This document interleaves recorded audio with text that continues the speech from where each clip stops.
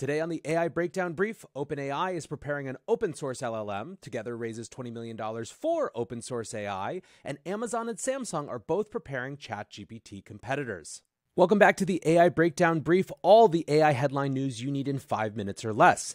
A couple weeks ago, a memo leaked from inside Google. It was a researcher who wrote and argued that Google didn't have any moat, and neither did OpenAI. And the argument was effectively that open source AI was outcompeting Google, OpenAI, and basically anyone else who was taking a closed approach to AI. One of the things that they noticed was that they might have been distracted by trying to create ever larger models, and that in fact there were advances that were being made on smaller models that were equally impressive. A couple of pieces of news are interesting in that light. The first is that according to the information, OpenAI is readying a new open source AI model. The goal would likely to be accrue some of the benefits to their ecosystem as have happened for Facebook since Facebook's Llama model leaked earlier this year. AI development watchdog Gary Marcus also pointed to a new paper which suggests again that these smaller training methods might actually produce pretty surprising results. Ronen Eldan tweets Will future LLMs be based almost entirely on synthetic training data?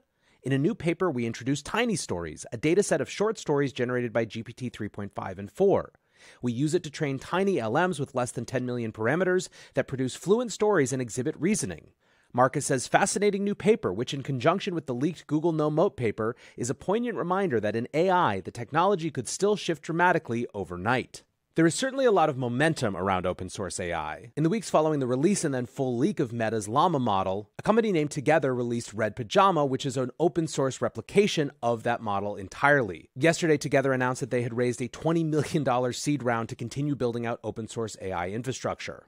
But of course, the biggies aren't going to go down without a fight. Everyone, it seems, is trying to build a ChatGPT competitor. We've got Samsung, who's trying to jointly develop a generative AI rival, as well as new competitive AI chips. And we've got Amazon, where journalists are reading the tea leaves of job listings for engineers to suggest that Amazon has plans to add a ChatGPT style interface to its online search experience. One of the big questions for this next era of computing is whether this chat or conversational interface replaces the search interfaces that we've become accustomed to over the last 20 years.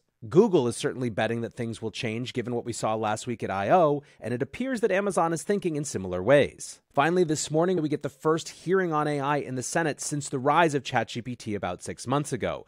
The witnesses include Sam Altman, the CEO of OpenAI, Christina Montgomery from IBM, and Gary Marcus, who we just mentioned, who is a sometimes critic of the way that AI is developing. I'll have a full report about what happens at that hearing on today's full AI breakdown. That's it for the AI breakdown brief. If you're enjoying this, please like, subscribe, and share with your friends, and click the notification button so you don't miss any of these reports. I'll see you back here soon for the main AI breakdown.